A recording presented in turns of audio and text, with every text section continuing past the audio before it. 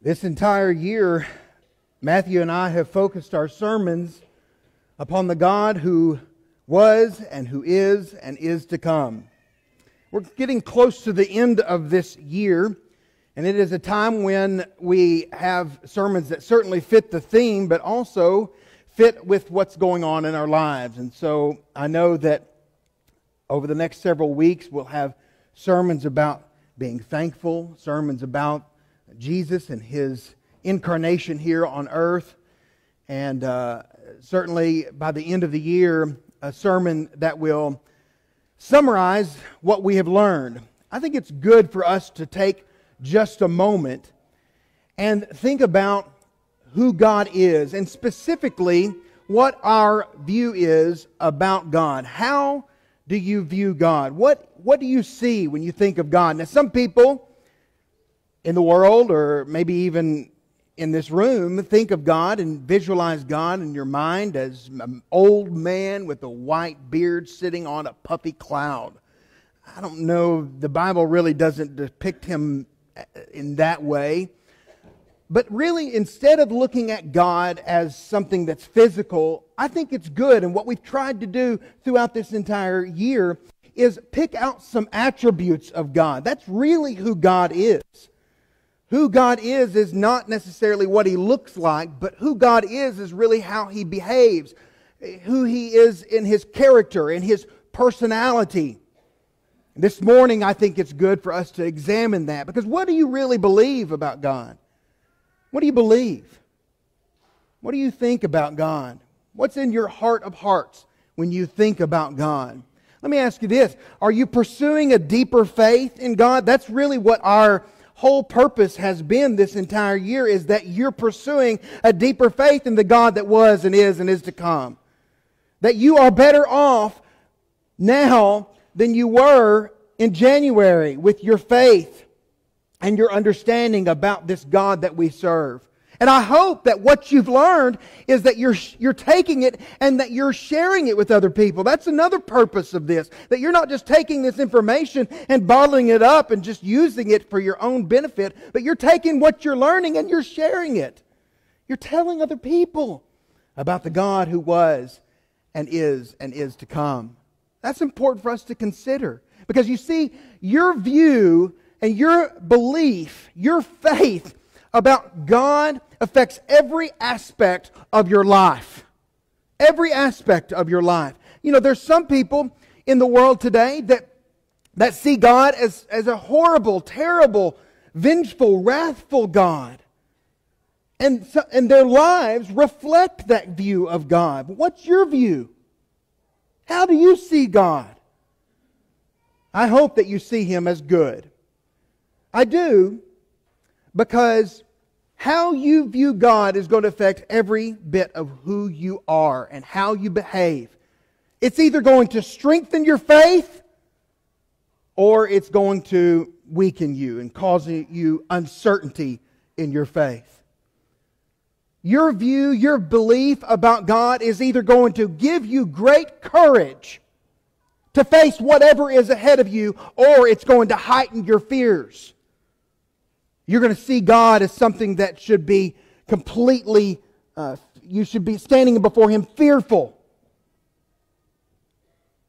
Or your view of God is going to cause you to obey Him. You're going to see what He's asked you to do, and you're going to do whatever He's asked you to do. What does Jesus say? If you love me, you keep my commandments. You see, your view of God motivates you and what you're going to do and how you're going to respond to what He's asking, or it's going to cause you to rebel against Him. You may be somebody that views God as somebody who is an oppressor, who's set up these rules and these standards that you can't live by, and therefore I'm not even going to try. I'm just going to do whatever I want and rebel against Him. Or your view of God is going to make you seek His will you're going to grow in your faith. You're going to find out what you need to do to please Him, and your faith is going to be deepened in Him because you want to please Him. Or it's going to be where you're choosing your own way. You say, I know that this is what God has asked me to do, but I'm just going to go my own way. You know, your view of God will either allow you to draw closer to Him. You see Him as somebody that you want to have a friendship and a relationship with. Or it's going to cause you to separate yourself from Him and say, I don't want to have anything to do with this God who is, or who was, and who is, and is to come.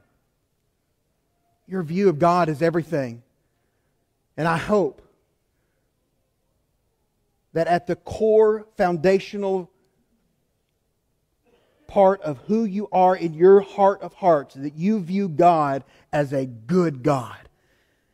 I think that when we view God as good, our outlook on life and on how we view things and how we do things has a positive a- aspect in our lives. It, it translates r- really well over into our own behaviors and our own thoughts. If you believe God is good, then things around you can be good.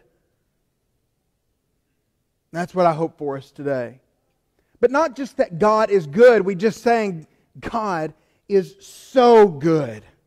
So good. In John chapter 3, verse 16, it says, For God so loved the world that he gave his only begotten Son, that whosoever believeth in him will not perish, but have everlasting life. That word so is an important word, isn't it, in that verse? It teaches the same thing if we were to leave it out. It really does. The principle is there. For God loved the world that he gave his only begotten Son. No one's going to argue with you about that. But the Holy Spirit, through John, wrote that God so loved the world. His love was so magnificent and phenomenal that he gave his only begotten Son.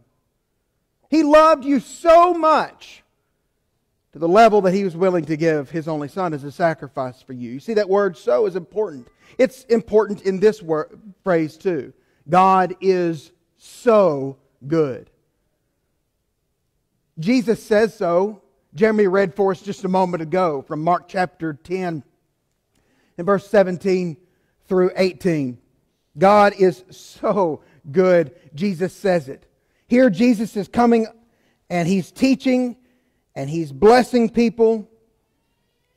And it says he was setting up on out on a journey, and this man ran up to him, knelt down before him, and asked him, Good teacher, what shall I do to inherit eternal life? Now, Jesus could have easily said, Well, here's what you need to do. He's done this before. He's even, he even says, You know, right here in this in the commands, here's the commandments that you need to obey. You need to do those things. He tells him, You need to sell all of your possessions. He could have just answered him right there, but Jesus takes a moment to make this point right here.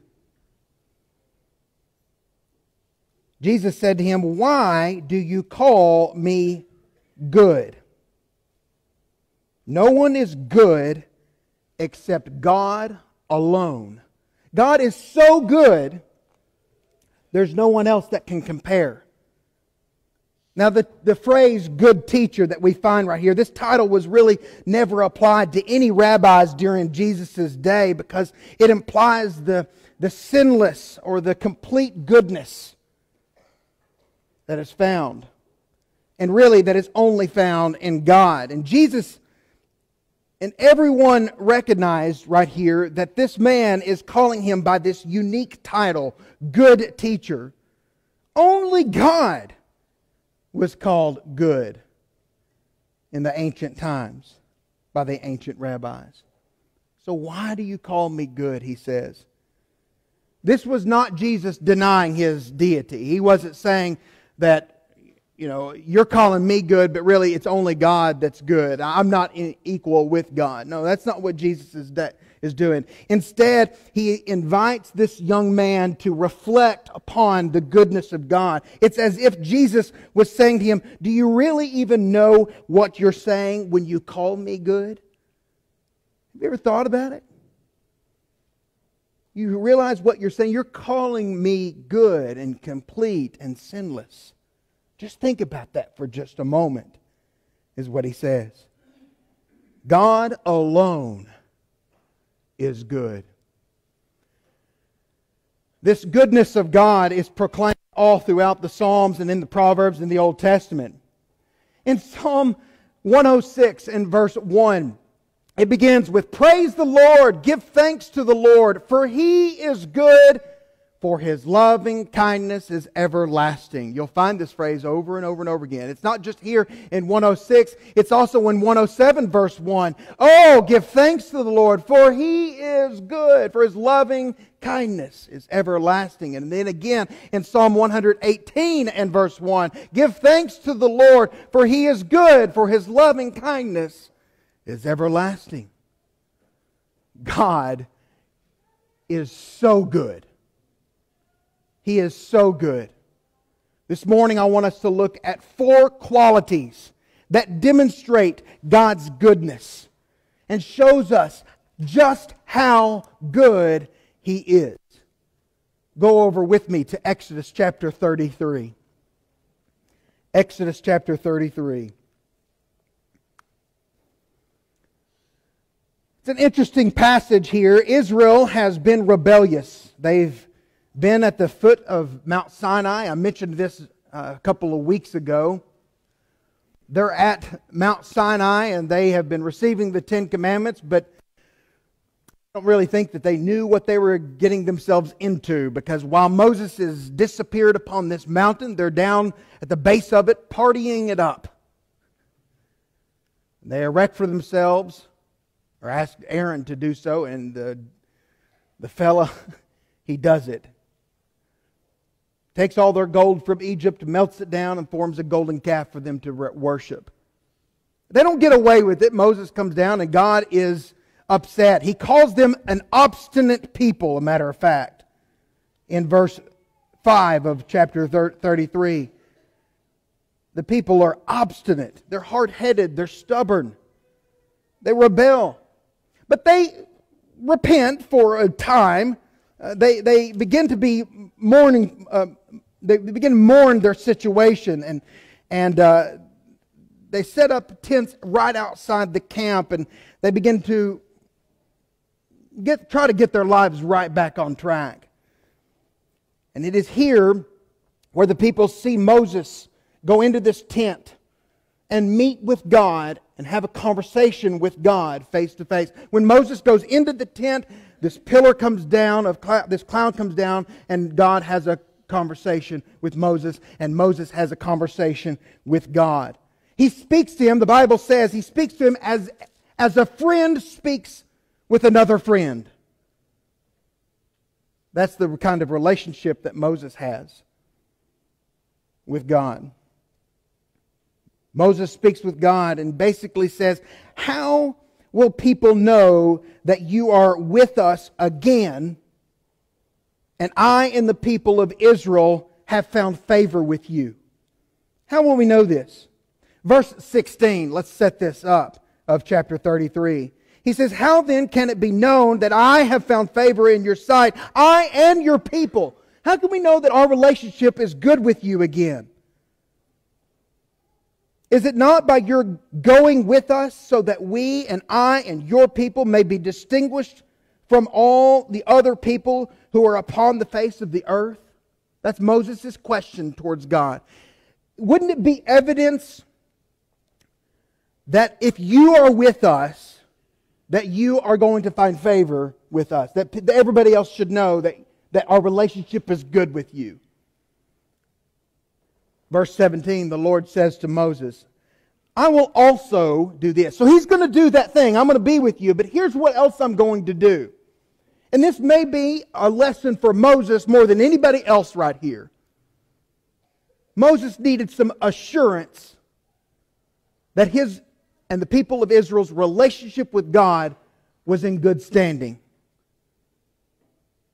And so the Lord says, Here's what I'll also do I'll do this thing of which you have spoken. For you have found favor in my sight, and I have known you by name. Then Moses said, Here's this conversation. So God says that. Now Moses interjects and says, I pray that you'll show me your glory. God says, I'll do this thing. I'll be with you.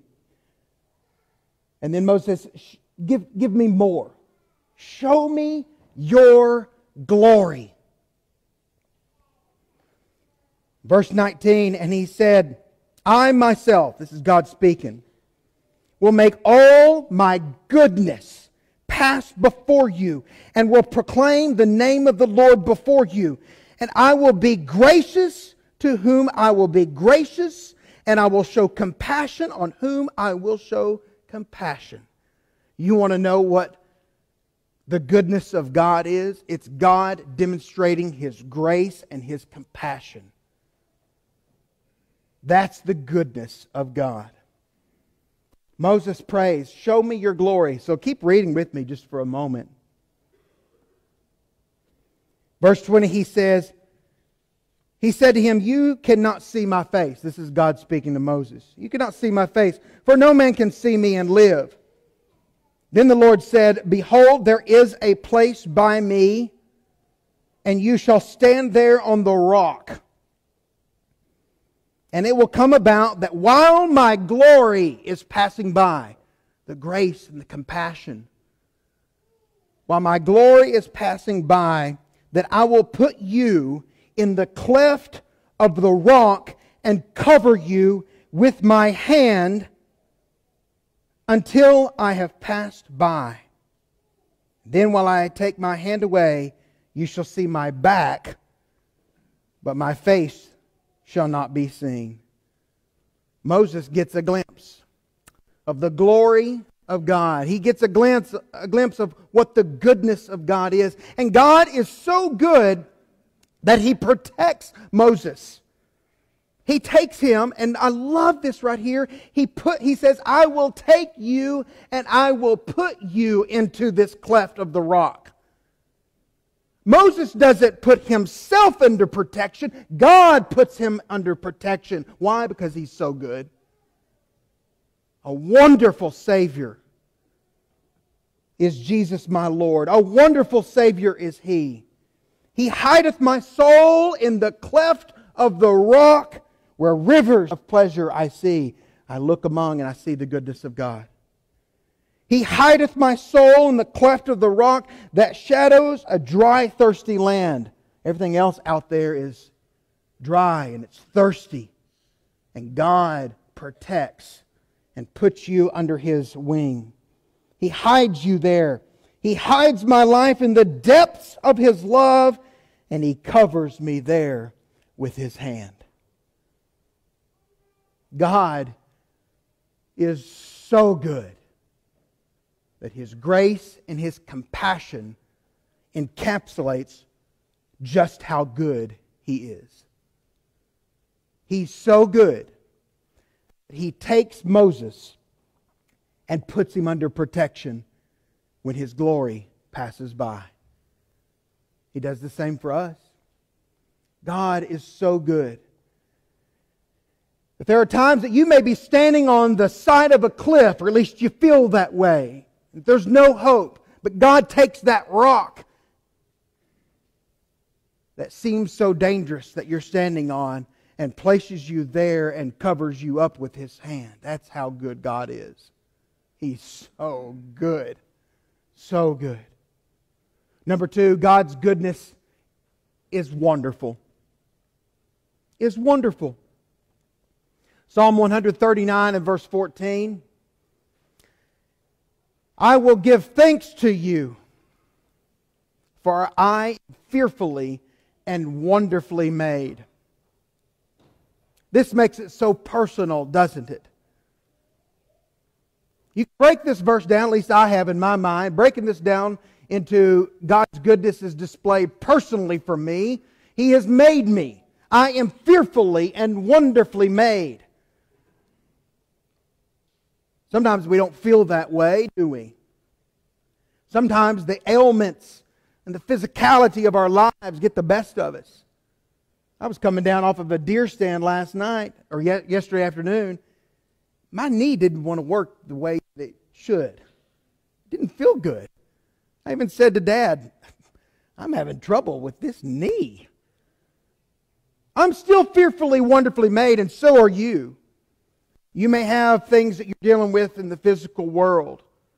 You may have cancer to deal with. You may have just ailments, back aches, knee aches, headaches, whatever you're dealing with in your life. You are still fearfully and wonderfully made. Do you know why?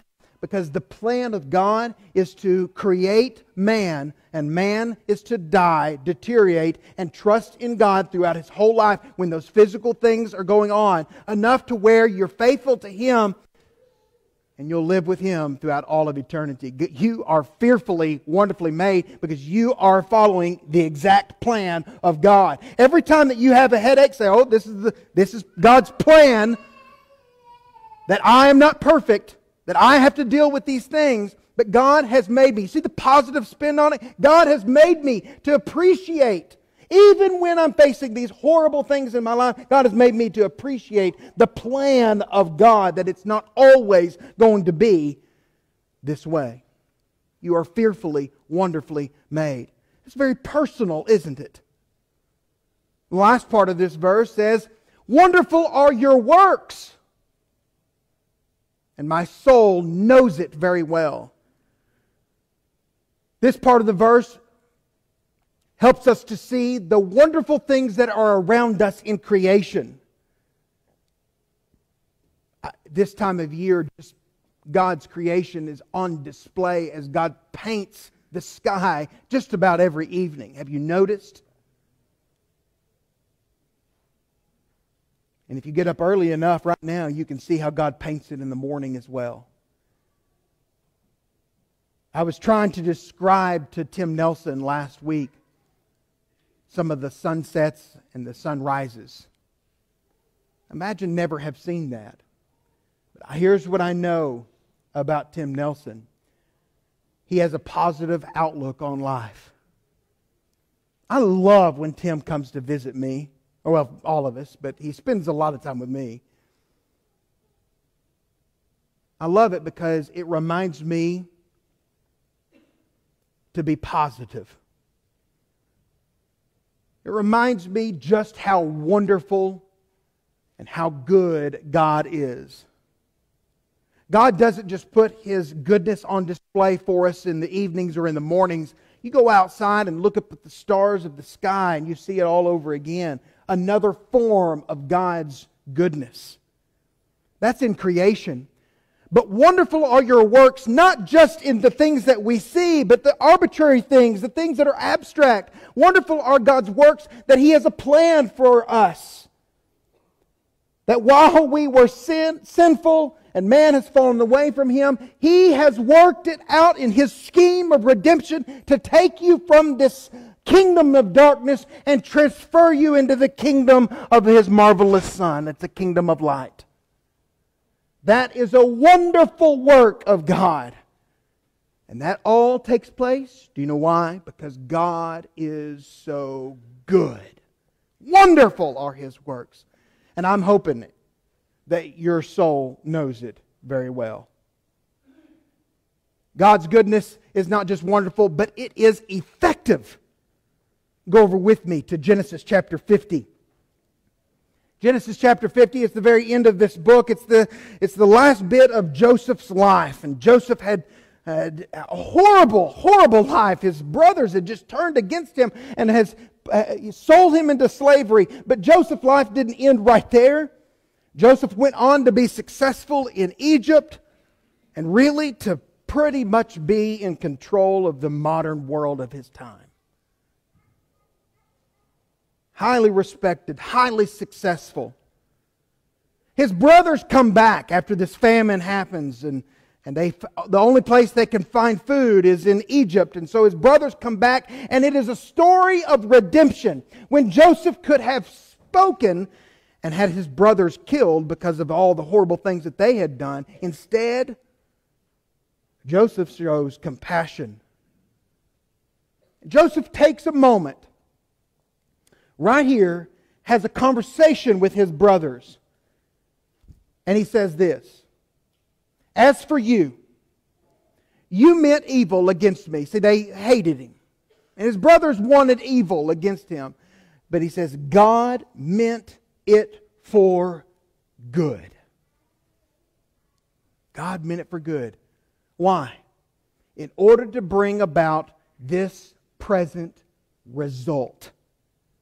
The effectiveness of God's goodness is displayed right there in Joseph's life and his relationship with his brothers. This pers- perfect result, Joseph says, is to preserve many people alive. Not just his own family, but through the famine, he gets the whole modern world of that time through that difficult time. But not just there, there's a greater meaning behind that. Preserve many people alive. You could stretch that all, all over to the slavery of, of the people of Israel and their deliverance from that slavery and the whole plan of God to bring about his people in the fulfillment of the promise that he gave to Abraham, Isaac, and Jacob. That's God's goodness. It is effective. God's goodness works every single time. God can take the hardest of situations, the most difficult things, the toughest of circumstances that you're facing right now, and bring about goodness. His results his purpose, His plan, His goodness, all on display for you. Romans 8 28, such an encouraging, positive passage. Paul writes and says, For we know that God causes all things to work together for good for those who love Him and are called according to His purpose. Not your purpose, His purpose. See, a lot of times we think, well, the goodness has got to be what I want. The goodness is, is that, I, that, that a desire is, is how I plan it out for my life, my purpose. That's not what this verse says right here. God works out together for good for those who love Him and are called according to His purpose, His plan. His goodness is displayed in your life, not yours. It may not look good from your perspective, even how God works it all out, even the effectiveness of it. You may say, God, how is this all supposed to work? How is this good? But from God's perspective, He knows exactly what to do. And His goodness works every single time. His goodness is effective every single time. Lastly, God's goodness is abundant. Is abundant. Psalm 31 and verse 19. The psalmist writes and says, How great is your goodness, which you have stored up for those who fear you, which you have wrought for those who take refuge in you before the sons of men. God's goodness is stored up it's available.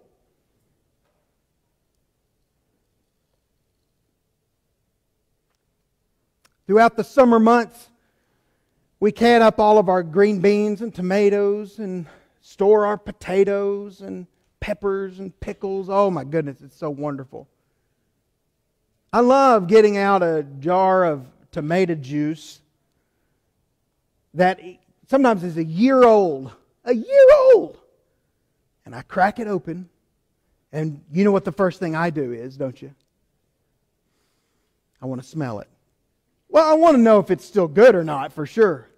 But I also know that it smells so good, even after a year. I've stored it up so that later on it's available to us. God's goodness is so great, and He has stored it up for you. Well, he stored it up for those who will fear him. That's the goodness.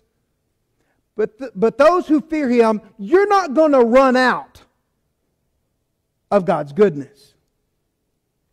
We always say if we can get 40 jars, quart sized jars of green beans, that, that we would be happy. We, that'll last us an entire year.